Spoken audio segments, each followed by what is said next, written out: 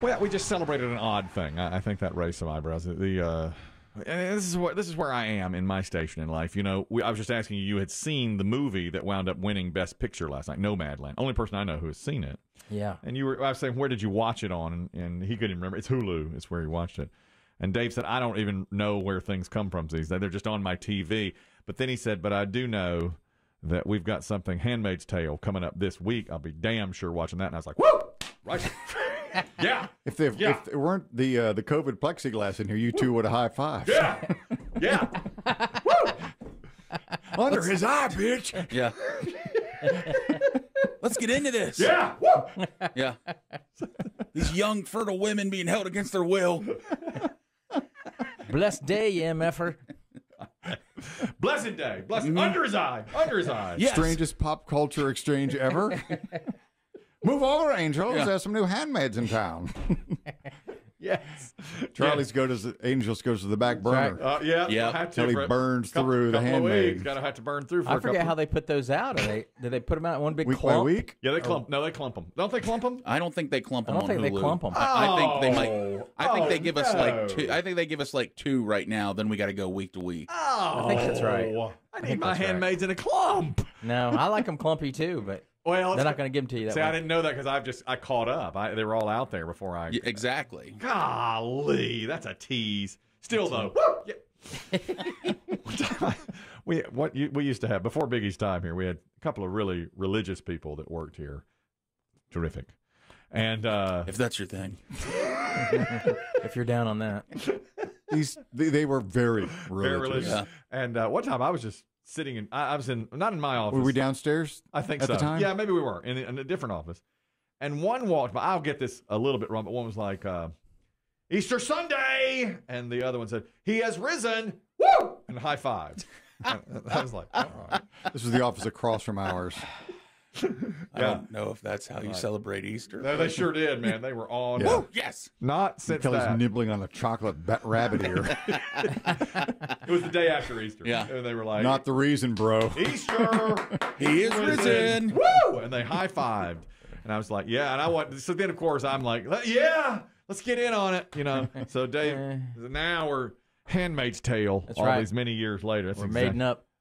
Exactly how I feel. Absolutely. You know, we take our little communities where we can find them. Ex- Thank you. That's exactly right. That's right. And I'm insi- this is TV related as well. I'm insisting now that Biggie watch Succession, which I just finished the second season of this week. I'm going to have to insist that he watch it. It is it All right. really gets better. Why and better. Biggie? Um, I think he really will appreciate it. It's about money, a ton of money, and bad things bad people do to each other for money, and it's really right up your alley. I Man, that says a lot about me as a person. yeah. Why I would Biggie like this show? It's about money and bad people doing bad things to each other. It's true. It's really, really well done. And uh, I went into it going like, okay, whatever. But now I'm through two seasons, and it's fantastic. It's on HBO Max, which I know you have. I have, yeah. And I, it starts a little slowly. Like first couple you get into, but by the, now I've seen 20 episodes, all there are, and it's fantastic. Okay. it's really good. So I'm gonna have to insist. that All you see. Now the others, I don't think Chris Demm's not into money. He's not driven by money. the way you No, and we are. tried. Yeah, we're we're driven by money. That's what we do. Dr. D is talking about Nomadland, which won for Best Picture last night. Dr. D, go ahead. Yeah, hey, so I saw the movie this past weekend, and it was pretty dry. Yeah. Uh, I would say it was baseline sad from beginning to end, and that sadness was punctuated by really sad parts about three or four times. Okay. So if you want to see a sad movie, Mm-hmm. that's your movie. Has It it? sounds a tad bleak. d- did you think it deserved when you watch it? Do you think Best Picture when you see it? No, Okay. uh, maybe it was a bad. I think it was a bad year for that to win Bad Picture Yeah. or Best Picture. You know, uh, I just read a list. I have it planned for later as our salute to Oscar concludes today. Good. Thank you very much. Dr. I don't even know if I don't know if Oscar deserves a salute this year. Maybe a, Thanks, Dr. D. a tip of the hat. Uh, uh, it was it's the worst Best Picture winners of the last twenty years, and the one I, the one that got worst I really liked, but it does get panned from. Oh, really? Yeah, but I really enjoyed it, and I saw it. Um, I always hear Terms of Endearment always is listed as one of the worst Best Picture winners Oh, yeah? of all time. But you know, our Mark Berger, who used to do movie reviews for us, said it was It's just it tugs on your The sappy. sappy. It's sappy and you know plays on your emotions. What does that mean? Worst best picture? I mean, how did, who decides that? These are like movie critics, that, and I think it uh, it may be. I think it's the passage of time too, right? yes, and then you look back on it and think, oh, it's not as good. Chicago, I always hear is not a very good best picture. I always liked Chicago. I did too. It was a fun movie. I, I thought it was really good, but they say it's you know Chicago. He always told me our it's a dated musical, but I thought Mhm. it was uh, well done. Chicago and uh, Terms of Endearment. But these are just the last 20 years, which Chicago would be in that group. It's not that, but it's a movie that I really enjoyed. Now, Dave, Frances McDormand, after the movie, won Best Picture last night, and she also won Best Actress. She should have won Best Actress. You Oh, well, I mean, from the movies that I saw, which weren't many. And she's in rare company now because she's got three Best Actress winners Fargo, Three Billboards, and now this. Oh, wow, yeah. I mean, Meryl Streep probably has roughly the same, I would think. You know, right I in. don't know. There's- Three is a pretty big number. She did deserve that, I thought. You Uh, did. much more than the rest. And this, I think I don't know if it won cinematography, but it's beautifully shot. See if you understand this. At the end of her acceptance speech, she does something a little bit odd. Please watch our movie on the largest screen possible. And one day, very, very soon, take everyone you know into a theater, shoulder to shoulder, in that dark space, and watch every film that's represented here tonight. We give this one to our wolf.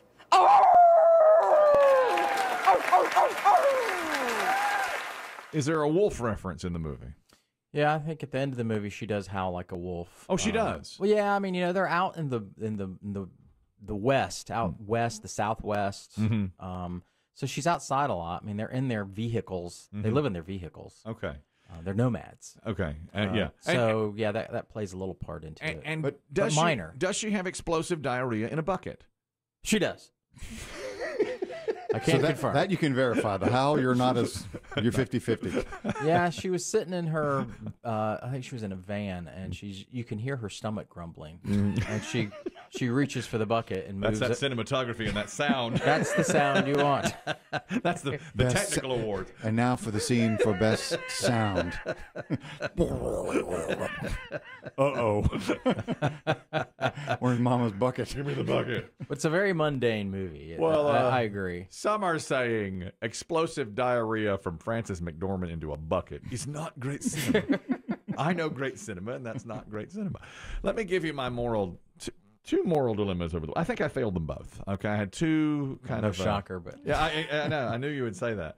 The first was now on Friday, and I think I mentioned this on the way out of here. I said, "By God, I'm gonna be good to me today. For the first time in a long time, I'm gonna be good to me." You did say that. yeah, he did. Bit of a sea change. Yeah, I said I deserve something. I've been everywhere, but I've never been to me. Thank you. Thank you. Charlene. I'm treating me. So I said, I'm treating me today, by God. Did the um, the cascade of warm Krispy Kreme donuts begin Oh, I forgot about those. Yeah, we had those. Uh, from an incredibly generous listener? a P1 brought by Donuts on Friday, and I had a few. Did the chicken and pickle waft over uh, uh, the feeling of it that There you you needed are. it later? There you are. Well, I know what makes you happy during the weekday. It does. And I said, you know, it's Friday. And very soon here, I'm going to have to get down to business on this thousand pound, thousand dollar weight loss. Real soon. Okay. It's about that time. I mean, it's second quarter. We're, we're getting halfway through the second quarter now. We're, it's time to get started on that. Now, I've got, I've got draft and I've got Handmaid's Tale this week, so I'm going to be eating. Sure. Okay. But, because I like to lay in a good, like a barbecue for a Handmaid's Tale or something, or wings. Yeah. So I go to Chicken and Pickles. I said, by God, I'm just going to do it. So I stop in there. Did you order on the app? Yes. Now here's the here's where it gets here's where the moral dilemma comes in.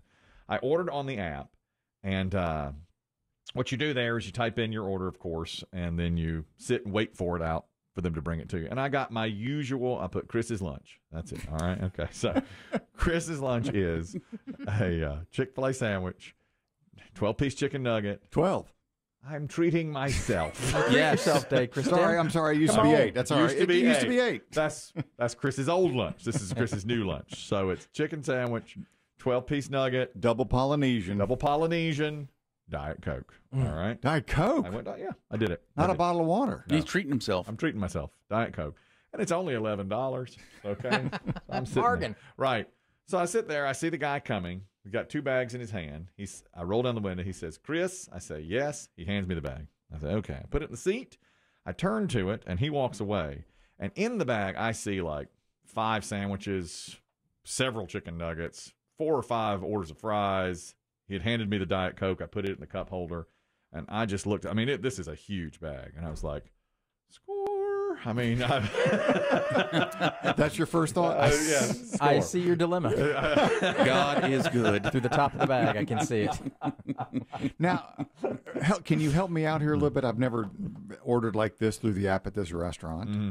Do they write your name on the bag? Is there a receipt with your name stapled to the bag? It's, it's it's taped on the. Bag. It's like a the the receipt is sticky and goes on the bag. Okay. But I didn't even pay attention to that. He just hand, when he first handed it to me, I was like, okay, fine, and got it and put it in the seat. But it, as he walked away, I looked at it and went, oh man, That's quite a stuffed bag. big, Yeah. bigger bag than I usually get. And so I started eating the fries It's from the eight to twelve nuggets. You get a bigger bag. Okay, before before I pulled out, which is time, they won't let you eat in the space. I have to go to um. Whole what is this, Foods. Russia? God, I pay taxes. Sir, can you go? Sometimes. I got to drive over to Kinkos to eat. Can you go sit in the Kinkos with the rest? That's why Kinkos always looks busy. right. Just people eating. they always do. Like, who's making copies? Nobody. Two in the afternoon. Yeah. Who's faxing? So I start shoving fries into my mouth. I mean, I'm eating a two or three. I thought, I'm perfect. I'll get out. Judable. And as What I, a day. as I put it in reverse, the guy has turned around and he's waving at me and coming toward me. The employee? Mhm, yeah, the same guy with a smaller bag in his hand. No. And I'm chewing, and uh, he gets over there, and I roll down the window, Oh, and he's. something, sir. Sir. He said, "Did you take that bag?" And I said, "Mm-hmm." And he said, "Are you Kristen?" And I said, "No, I'm Chris." And he goes- Oh, Kristen. and he said, "I said, are you Kristen?" And you said, "Yes." And I said, "Oh, I thought you said, are you Chris?" I can't hear when there's bags near me. I had no idea. Well, I mean, it's an odd. So, uh, They're similar Similar, sounds. similar, right. In fairness, right. So, and engine's running. so he hands me the little bag and my little diet coke, and I've got this enormous bag to give back to him. And he said, "You didn't eat the fries, did you?" oh no. Oh, no. As soon as you're out of earshot, as soon as you turned around, I had fries. Because old Kristen is like, you know, she's two or three cars down, and I've had my paws in her fries, and I've Yeah. eaten two or three fries, and it's COVID time. I mean, you Yeah. know, Wow. Yeah. you know. So I said, I said to him, I had two fries. Well, really, I had like five, but I said I had two fries, and he said, "We're gonna have to remake this order." And I said, Yeah. Oh, I didn't know. Okay, well, see ya. I didn't Yeah. realize." But you know, he looked at me. It's the first time I've ever gotten a look of disdain. I don't think that's. Uh, Uh-uh. I would have been if I was Kristen. Yeah. I would have been mad Yes. if they had tried to hand me Yes. the bag that had been in somebody else's Inside car. your that, car. That would Yeah. not have worked. They had No, they, he was, I would. That kid would have been. I would have looked at that kid like Yeah. he was crazy and been like, you, That's right. You're, you're not. you can't ask for that. You don't back. take Yeah. it out of someone else's car and then no, I don't think you can either. correct. But I did. The only thing that was exposed to my paws were the fries. Doesn't Sure, matter. But either way, it's still Yeah. been in your car. Yeah. Especially that car. Yeah. I was afraid Kristen might see me. Could you drive- imagine if Kristen was watching and saw that whole box and that whole bag come out of your car and go straight, Go straight to hers? hers. Oh, She'd yeah. scream. In her Audi. I know. It, it was a really nice. Yeah. It was a nice car. I'm sure it was a nice SUV. Yeah, it was. Mm-hmm. And I had to hand him the, the the hand back of shame, and then he gave me my little bag. so what are they going to do with the bag? Yeah, I was gonna say I would have been like you. I should have said just man, keep keep it. it. well, maybe they should have. That's right. He, I saw him going back into the restaurant with the bag. So I wonder if they Mm. changed all of it Handled poorly by Yeah. their by them, if you ask me. I thought. I, that's what I thought. Now, yes, moral dilemma maybe should have been, but Mm. see, to me, again, you did. I would have done the same thing though. I would have taken it, Mhm. sat it next to me, not thought about it at first, yes, and started to leave. but once I, I mean, I did know it wasn't mine. I was like, "This is," and I said, when "God, you opened the bag before you had put your hand inside the sack, you knew it was not your no order. question." There was so it doesn't much extra matter. stuff. The point is, even if you'd have yelled at him as he was walking away and, Mhm. and didn't put your paw near it, Yeah, Still been in your hand In and in my your hand. car. Yeah, no- nobody it's wants gone, it It's gone to the forbidden zone. There's no Yeah. doubt. Yeah, but that- but that's on Kelly them. failed. well, well, that, yeah, that's yeah, true. I did. mean, more. I mean, in his mind, he should have. I failed because I I ate the fries knowing, like Biggie said, I said God is good, and he just gave me, you know, he just gave me a little Mhm, something. Well, mhm. he took it right back. He, he, Oh, right away. Yeah, he knew. I would. Strange. I would bet they go. They took that bag back in, repackaged. They got new fries, but they repackaged everything. that ain't cool, man. Maybe. No, but, I, without a doubt, I know they did. but the chicken sandwiches were never in I mean, that might I can I never Yeah. touched them. Or They're just Still. wrapped in foil. They're wrapped in foil and everything. Yeah, but still, something about being in somebody else's the whole You don't thing. like it. I know. No, being in somebody else's car, I would have never served. He should have never taken that back. I should have had. I should have.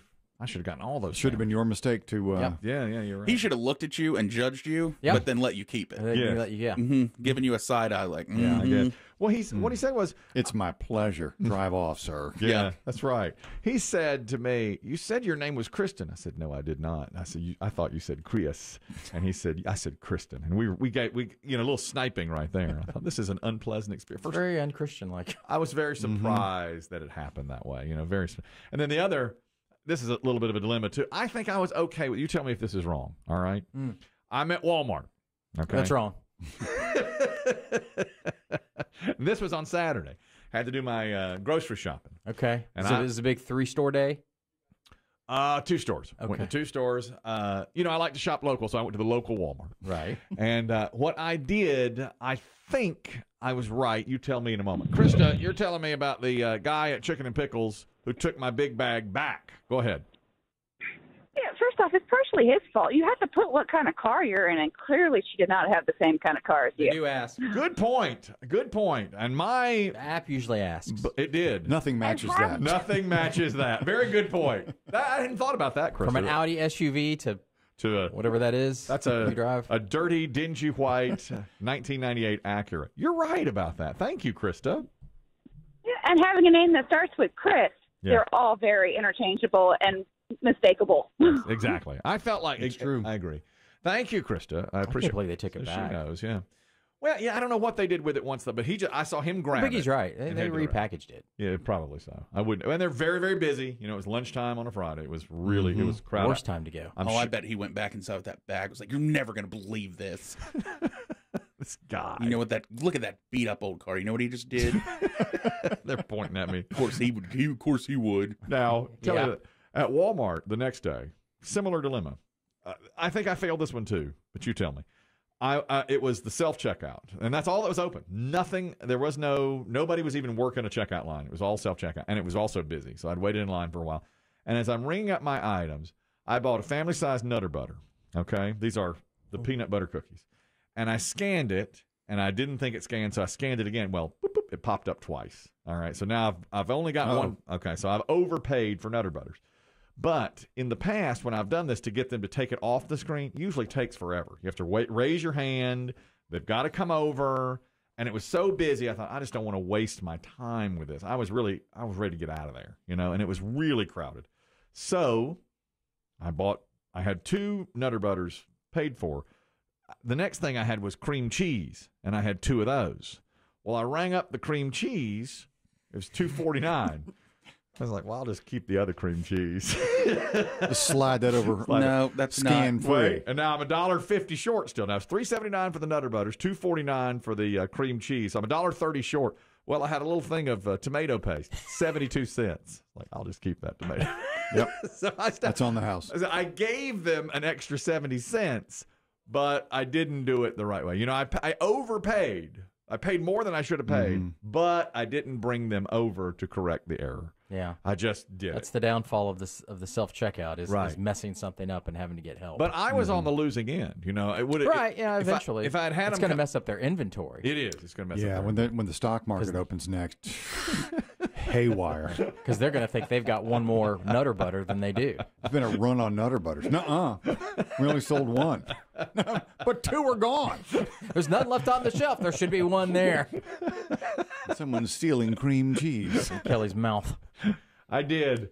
I took the cream cheese to make and the tomato paste, the tomato paste. to make up for one Nutter Butter cost. Mm-hmm. But I did. I'd like to hear you explain this in cuffs.